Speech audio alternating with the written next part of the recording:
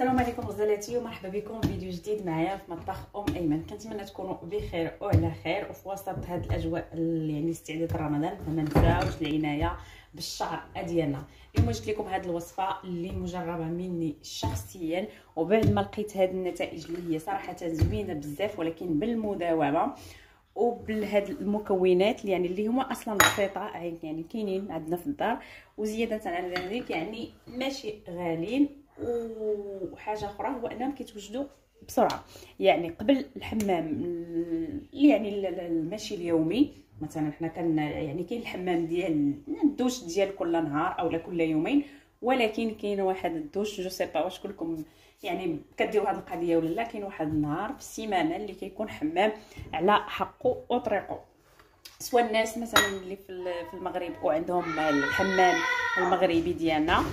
يعني كيكون واحد النهار في السيمانة اللي كنديروا فيه الحمام على حقه وطريقه كما قلنا سواء في الحمام المغربي اولا الناس مثلا المهاجرين بحالنا ولا لا اللي ما كاينش الحمام المغربي. فاحنا كنديروه في الدوش ديال الدار كنسخنوا اكسيتيرا ففي هذا النهار هذا هاد الوصفة هذه فأنا جربتها وعطاتني يعني تنعيم للشعر ديالي.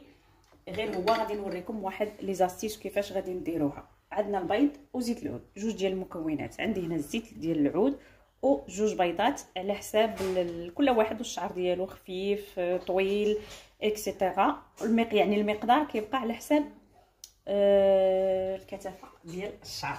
ما غاديش ندوي بزاف غادي نبدأ معكم في الطريقة ديال التحضير ومن بعد نقول لكم كيفاش ديروها. فالبيض ما غاديش ناخذوا يعني البيض كله غادي ناخذوا فقط الصفر ديال البيض.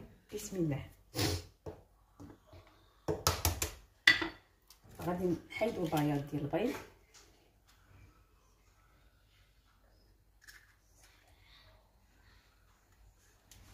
غادي ناخذوا غير الصفر ديال البيض.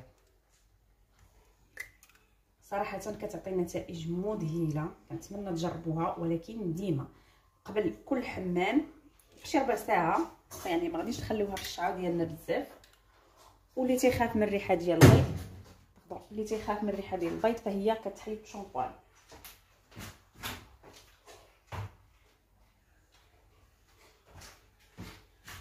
يعني قبل من الحمام ديالنا بشي ربع ساعة ماشي بزاف اولا ثلث ساعة حتى لنص ساعة. يعني ما تخليوهاش آه، بزاف الشعر ديالكم. يا إلا خليتوها راه ما غاديش تضركم لأن المواد كلها طبيعية. ولكن المهم أنا على حسب التجربة ديالتي مع هذه الوصفة كنخليها تقريبا ما بين ربع ساعة حتى نص ساعة. أكثر تقدير نص ساعة. صافي وكندخل ندير الدوش ديالي. من بعد ما نزلنا هاد جوج ديال الاصفر البيض غادي نزيد الزيت ديال العود على حساب المقدار اللي بغيتو. وغادي نخفق هاد المكونات مزيان. يعني هاد جوج مكونات هادي غادي اللي بغى يخدم. بشي حاجة يخدم.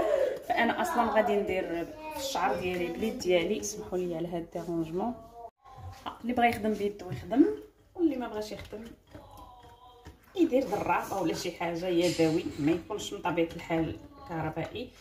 لاحظتوا معايا كيفاش كيدخل هاد زيت العود في الصفار ديال البيض؟ غادي نزيد أنا واحد شوية ديال الزيت ديال العود.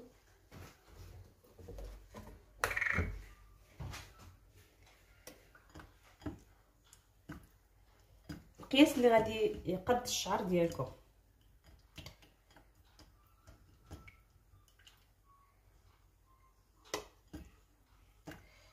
الزيت ديال العود من الأحسن يعني تكونوا وكاين الزيت ديال العود ديال الشعر ولكن لما يعني ماشي متواجد ماشي مشكل هو من الأحسن يكون واحد الزيت اللي ما كتكونش مضيوفة فيه الملحة. اولا مثلا حنا كنعرفوا الناس كلها ولات كطحن يعني الزيت العود ديالها على يدها كتشري الزيتون وكطحنوا حاولوا تأكدوا من أن الزيت العود ما تكونش يعني مضافة فيه الملحة. اولا ما لقيتوش ماشي مشكل يعني من الأحسن ما كانش ماشي مشكل. راه هاد الوصفة غادي أكيد تنفع. أكثر من واخا يكون الزيت يعني فيه هذاك زيت عادي ما متأكدينش من يعني الكاليتي ديالو. ماشي مشكل لأنه ماشي شي ضرر كاع. الضرر هو أننا ما نديرو حتى حاجة.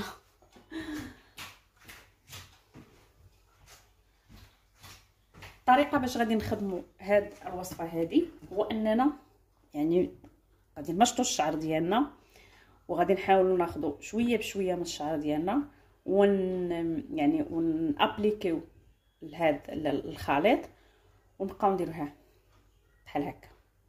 يعني كتجر من الفوق لتحت كتجر بحال هكا غير بشوية بحال اللي كتحاول تدخل هذيك كتدخل هذا الخليط و أو ميم طون كتسرح الشعر.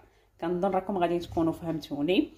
وهذه هي الوصفة ديال اليوم. كنتمنى أنكم تجربوها بحال هكا خفيفة ظريفه و... وتردوا عليا في التعاليق من بعد ما تكونوا جربتوها. واللي متبع القناة ديالي ما تبخلوش علينا ب les j'aime و ب les commentaires. وحتى اللي شاف هذا الفيديو وباقي ما اشتركش في القناة ديال مطبخ أم أيمن مرحبا بكم. ديروا اشتراك باش تتبعوا الجديد ديما ديال هذه القناة. إلى فيديو قادم خليكم في أمان الله.